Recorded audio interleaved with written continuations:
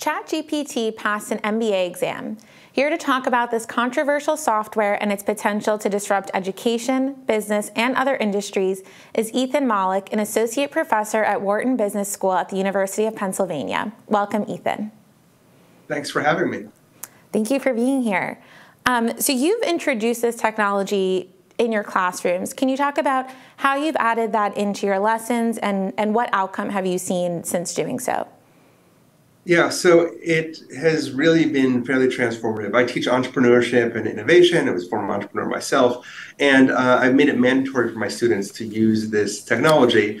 And the effect has been pretty huge. Um, people who weren't good writers are now good writers. Um, I can assign more work than I did before. The quality of ideas is better. It's actually been pretty amazing to see all of the impacts. Uh, there's a lot of downsides too. So it also gives the students a chance to work through that and understand why the limits of these tools are and when they might be appropriate and when they may not be. Right.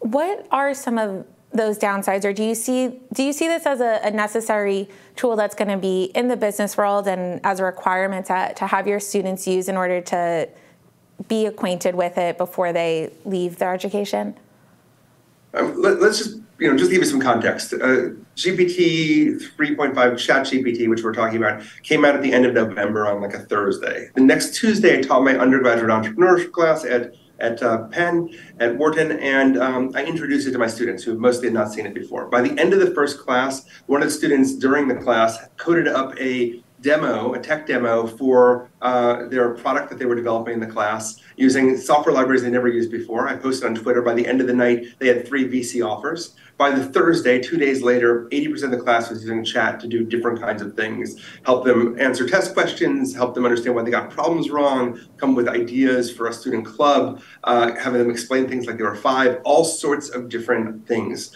So it's already pretty ubiquitous as a tool, and it does a lot of things. We don't even know everything it does yet. So the plus sides are already there, like it's already expanding use in lots of ways. You just have to be aware that it lies a lot, makes up material. There's some downsides as well. Right. You know, it's been a bit controversial in terms of this technology and how students are using it on a university level as well as K through 12. Uh, do you think that there should be any sort of age limits, or do you think that there could be uses for this technology um, for younger students to be using it in different ways? I mean, so there's a lot of ways to potentially use this. There, one way to think about this, there's a lot of things this tool does, but in education, one clear analogy is to the calculator, right? So before calculators, you did all your math by hand. After calculators, we had to find a balance where you did enough math by hand to understand basic math, but then it let us do much more advanced math in high school because you didn't have to calculate everything by hand.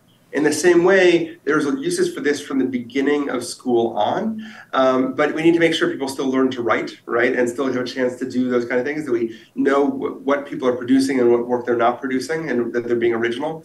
But I think that there's use for this tool, even as a research tool for much younger kids, and the art tools allow them to create images. I mean, it really expands human capability. How about the concerns in terms of plagiarism? Is that something that you've encountered in your classroom as you've introduced this tool, or are there ways that you're trying to, to keep that in check as you have your students use ChatGPT? So there's a few things. First, plagiarism has always been ubiquitous. Like students cheat, right? We have all this evidence that you know not everybody, but a lot of people cheat. Um, a lot of people search for answers on the internet. In fact, the usefulness of homework uh, homework used to predict test scores. If people did the homework, they'd get high test scores. In the last five years or six years, that's been decoupled because people who do the homework uh, are often cheating. So they don't actually get better test scores, they don't learn. So cheating was already everywhere. Um, so part of what my goal was is how do we think about how ChatGPT fits in? So I require my students to acknowledge when they use it and to give me the prompts that they use in order to solicit those results and often to reflect in a paragraph on what worked and what didn't. And if you force them to be critical readers and thinkers of their own, their own material that they're producing, you get some really impressive results. Right. And what has the feedback been from your students since they've had, you know, this requirement or this um, encouragement to use ChatGPT in their lessons? I mean, generally they love it. I think everyone is a little bit nervous. Uh, not so much about what happens in the classroom, but what happens afterwards. The capabilities of these models is increasing tremendously. Uh, I just got access yesterday to Bing's AI, which is as big an improvement over ChatGPT as ChatGPT was over the previous AI models. And so the real question is, okay, I'm preparing them for a world where they can use these tools. Um, what does work look like when they graduate is a really interesting question.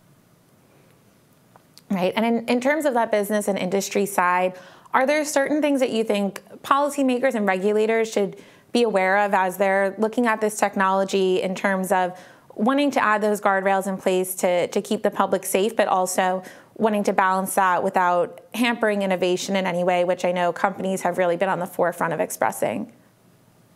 So I think it's a really complex question, right? On one hand, we have the idea of guardrails or ethics. That's one of the things that made ChatGPT so reasonably easy to integrate into a classroom is the guardrails are quite good. It's it can be frustrating to people that it doesn't say everything you want it to say, but it's also very hard to get it to be really dangerous. That may not be true with future models, right? Where you can ask it to convince you of something that isn't true and it does a really plausible job. I have been fooled by fake GPT output when they actually cited one of my articles that I never wrote. And I was like, wait, is this something I wrote and forgot about? Because it seemed plausible enough. So there is this kind of information danger to worry about. But in terms of its use, uh, even in early studies before ChatGPT, some of the early AI tools were showing that it cut the amount of time involved in programming in half.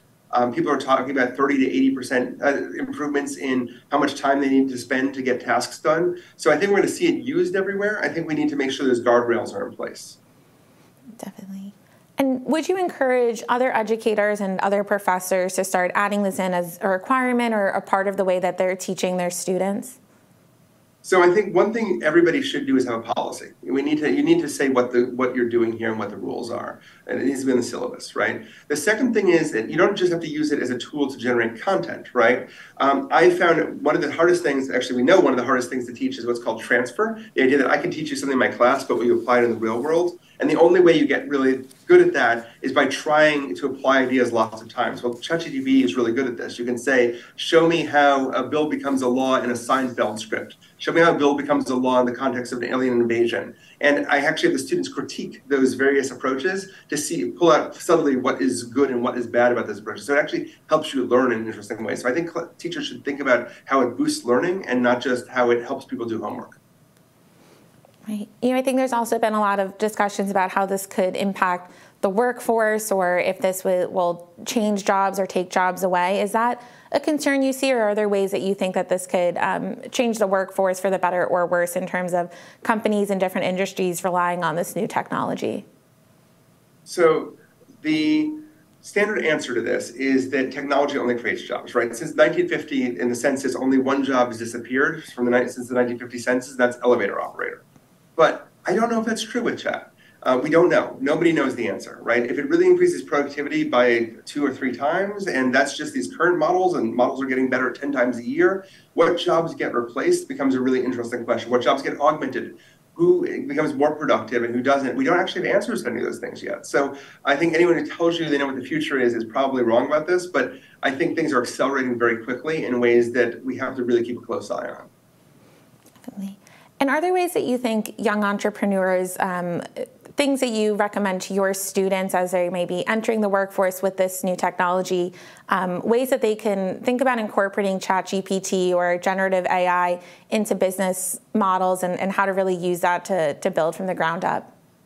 Oh, absolutely. I've written a lot about this. I think that this is an amazing co founder. So you know, if you want to, let's say you're a doctor who no longer wants to practice medicine and launch a business, you can ask ChatGPT for 50 ideas on how to do it. It'll give you 50 ideas. And you might like idea number three, medical tourism. And you can say, give me a business plan for that. And you're like, well, now I need to contact someone, write a letter to the FDA asking for permission to do this. And it'll do all of that. It'll even pretend to be another doctor you can interview. So there's a lot of information and help it can give you along the way directly to help your job. And then, of course, the idea that if this is going to affect every industry, it's a really great time to be an entrepreneur building software on top of it and not that complicated to do.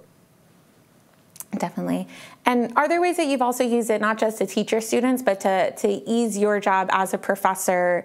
Um, has it been able to take over any of those more, uh, you know, menial tasks?